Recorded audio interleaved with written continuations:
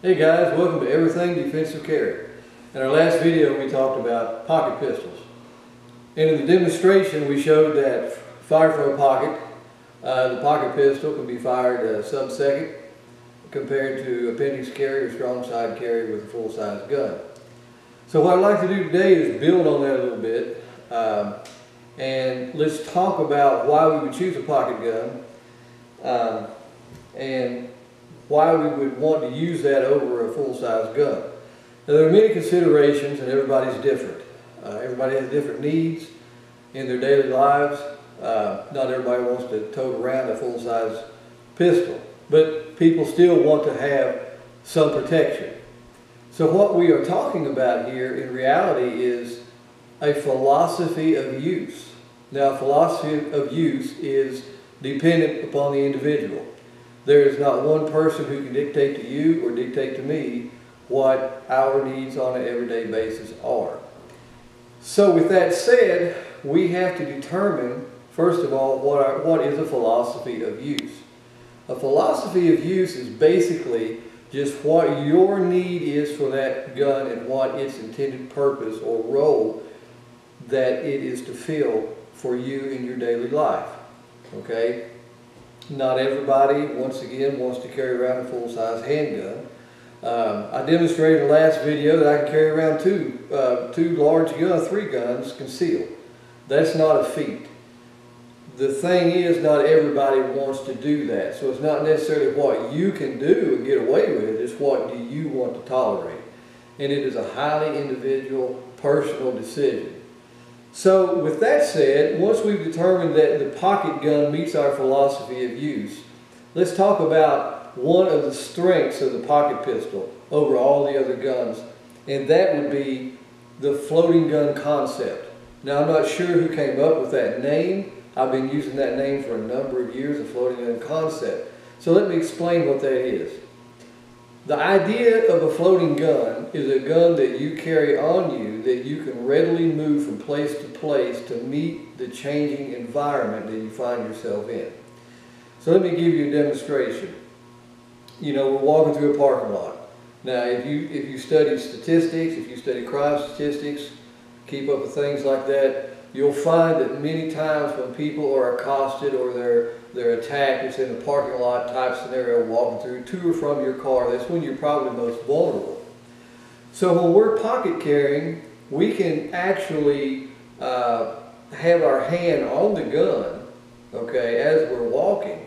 But as we are getting into the car, we have sometimes, you know, we have to use a key to get into the car for those who don't have remotes. Uh, your back's turned. You're you generally at your most vulnerable eh, when you are distracted from being able to look around you. Okay? The strength of a pocket gun is you can actually palm it. You can take it out of your pocket, in the holster, okay, and have it in your hand as you walk into your car.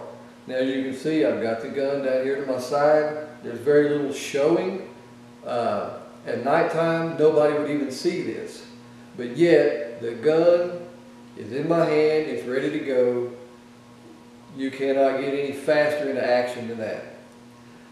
Another thing about the floating gun concept is we can move this. Oh, the, the pistol is unloaded. Uh, but another thing about the gun is we can move it from place to place as our environment changes. For instance, once you get in your car, you open up your door, you're sitting in, you're sitting down in your seat, you can take the pistol and move it under your leg so that as you drive you have access to it. You can place it in your console, wherever in the car you want to put it.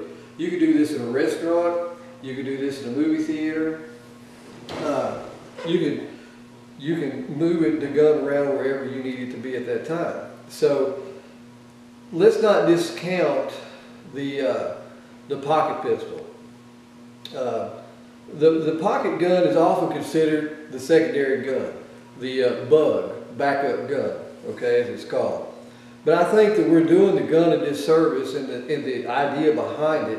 I think we're doing it a disservice and we're actually limiting ourselves by doing that because many times if this gun is in my pocket, even if I'm carrying a second gun, I have my hand on the gun as I'm walking around. As we demonstrate in the video, this is perfectly normal. Okay, so if I need something to defend my life with, my hand's already on the gun. This gun goes from a backup gun, a secondary gun, to a primary gun at that time. Because it's the first gun, the first firearm that I would introduce into the fight to defend my life. So therefore, it's not really a bug anymore, is it? It's a primary gun.